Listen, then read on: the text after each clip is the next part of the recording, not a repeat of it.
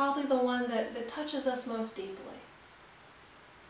Nice ideas, what does it really have to say? Why does it matter? Why do we need to start looking at God in this way if we want to see how we can believe in a God? Well, I think it's a very relevant question, and as I've been really looking through some of the um, pre, pre that came in, you know, everywhere from Atlanta to Loganville to Braselton, Georgia, to Seagrove, Grove, Florida, even across to Surrey, England, I got questions about how do you how do you get through? How do you understand? How do you respond to the loss of health, the loss of a job, the loss of a home, the loss of an inheritance, the loss of a loved one? If you've struggled through something like this, you know it causes you to ask deep questions, why? And how can I look to a God when I'm going through such tough times? For me, I had to learn in college a little bit of how to pray more effectively. What struck me um, was that I had to go back to God each time. And I had a real reason to. I'd been told when I was in high school that I had inherited bipolar disorder. Now, this was uh, something that had just tremendous emotional instability and it had wreaked havoc on one whole side of my family. Uh, and just the experience of alcoholism and even suicide was just really devastating. I was told this was incurable, something I was going to have to deal with my whole life. I was told that there were medications that might be able to ameliorate some of these symptoms, but I was never going to be cured, and many of the side effects were quite, quite difficult. Well, I figured that was incurable, so that went on the back burner, but I went on to college and I had begun uh, a deep questioning of what was going on. The first thing I began to do is really get a deeper sense of what life was all about. You know, I was just trying to find a reason to get out of bed. So, you know, I read widely, and I read some Eastern uh, religion. There were some ideas in there, but they, they weren't really resonating with both my head and my heart. Then I read some philosophy, a little bit of Albert Camus and uh, existentialism, and boy, that was not a reason to get out of bed in the morning. But I wasn't particularly picky. I read advice columns, I read classic novels, modern novels, and I was just trying to find someone who could tell me what this was all about. Well, I went back to the Bible because I lived in a family with two different Christian churches that I was going back and forth between. So the Bible was very familiar to me. Sometimes I'd open it up and find something that quite inspiring, and sometimes I'd find ideas in it that just I couldn't relate to. God seemed so hard to know. And so it was actually in going to this book, Science and Health with key to the scriptures that Mary Baker Eddy had written that I began to get a deeper sense of what I was reading in the Bible and seeing the continuity of what God is. And it was in doing this that I really appreciated on the very first page her saying, the time for thinkers has come. Because I didn't want to be told about God. I had heard plenty of things. I wanted to think my way through it. And I began to find in the first chapter on prayer ideas that were really revolutionary. This idea that prayer was not changing an unchanging God. No matter how much I petitioned, no matter how much I repeated, I was never going to change unchanging love. So what was changing, as we could see, was me. I was changing. And I loved some of the ideas in it. Prayer cannot change the science of being, but it tends to bring us into harmony with it. Wow, prayer was changing me. So I began to apply some of these ideas to the experiences I was having in college, one of which was my freshman fall.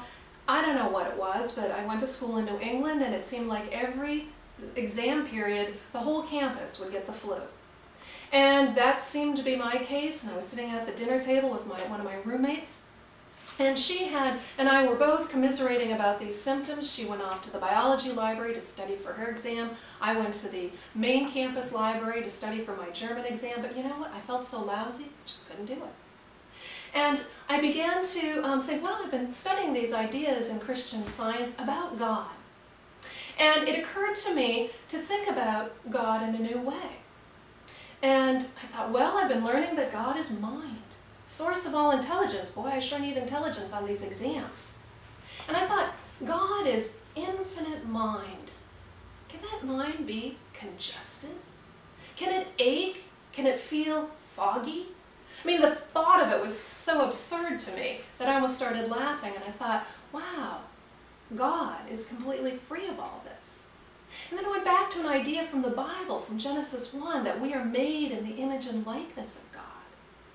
And I began to think, wow, if God is untroubled by this, then I, as the image and likeness, can't be troubled by it either.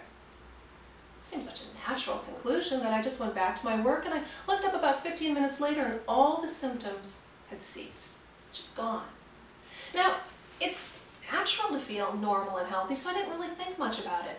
But towards the end of the week, I ran into my friend again. We had been on opposite exam schedules. She was still miserable, still suffering from all the symptoms. She had tried over-the-counter remedies, but nothing had changed. And you know, my heart went out to her. She was a wonderful person. She was suffering so. And I, I said, oh, I'm so sorry see you feeling that. She said, well, what happened to you? You and I were feeling the same way. So I told her I had prayed and all the symptoms had ended. Well, that was a little revolutionary for her. She didn't think prayer could do anything tangible in our experience. In fact, she didn't have much use for religion in general. Her parents had come from two different faith traditions, and when they married, their families turned their back on her parents. So she had learned to live with a, a sense that love was unpredictable, that life was just happenstance.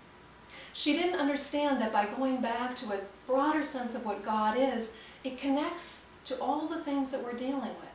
And it connects in a way that all of us can appeal to, turn to, rely on, because a principle is universal. It's inclusive.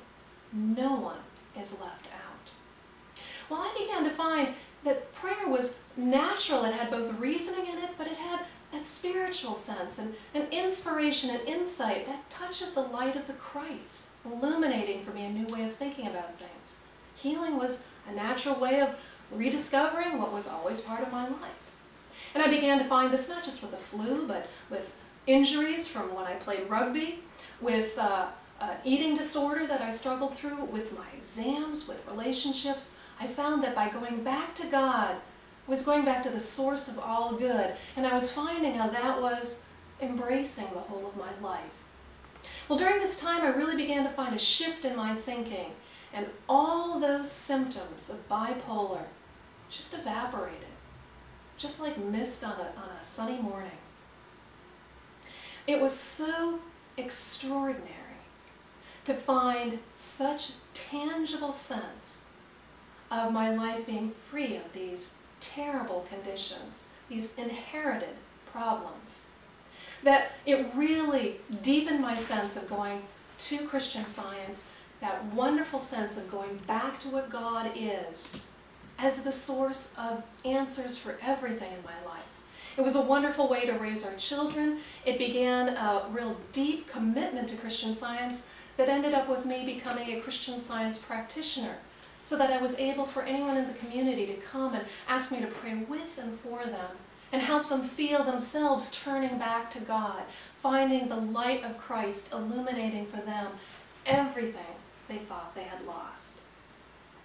Well, that's on in an individual level, but sometimes people ask me, well, what about the injustices that happen to communities, like disasters?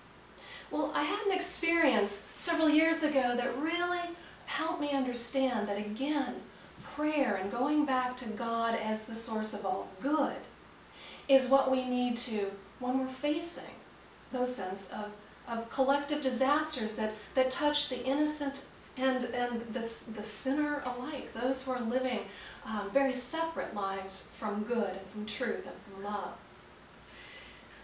It was the uh, experience of Hurricane Katrina. We were up here in, in uh, Massachusetts, but we were so um, touched by the headlines we were seeing on the news of what was going on down there. And uh, maybe you all don't remember, but at the time, it was just the people who were there with this storm coming through and the devastation being unlike anything anyone had seen in a hundred years.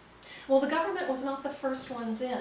It was really the news reporters and the first responders were actually the Salvation Army, um, consecrated true believers in God's goodness.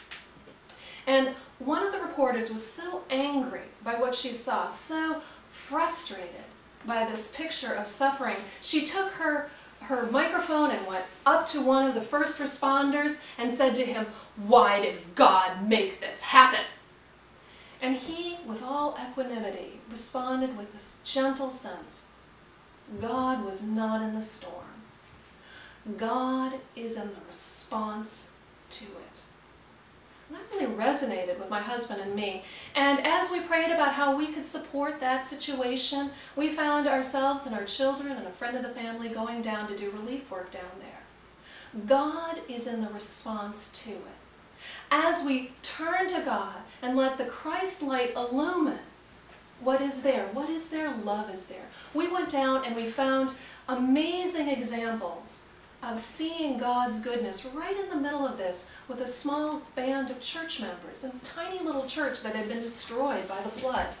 We went down to help do some salvage work for them, and we were absolutely touched by their sense that good was going on, that there were things to be grateful for, that they were connecting with resources and sharing those resources with their neighbors, with the first responders who were there.